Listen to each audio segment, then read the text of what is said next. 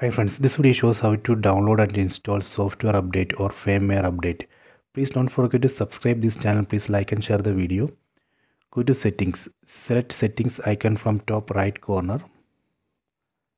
Go to device preferences. Go to about. Under about here we can see version.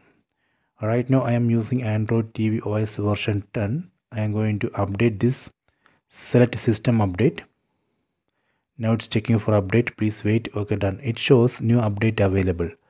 Version of this new update is android tv os version 12.1.1 size of the update is 762 mb on right side you can see one download button. Select that button. That way we can download and install this update in this tv if you are not seeing this update in your tv that means company is not yet released uh, this update for your TV model. Hence you have to wait.